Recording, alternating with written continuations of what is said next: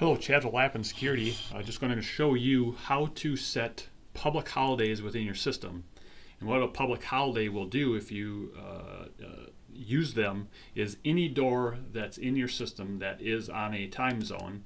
Uh, this door, the front entrance, for example, has the uh, main entrance time zone uh, scheduled uh, to the door. So the door will be unlocked Monday through Friday during during these times. So now if you want to, without manipulating the time zone, you can set it as a public holiday. The, the public holiday overrides any time zone on the door, so the door will stay locked. So where is that? So go to options, go to custom days, and what you want to do is pick the pick the uh, holiday that you want to set up. Uh, September 6th, for example, is Labor Day, the next one coming up.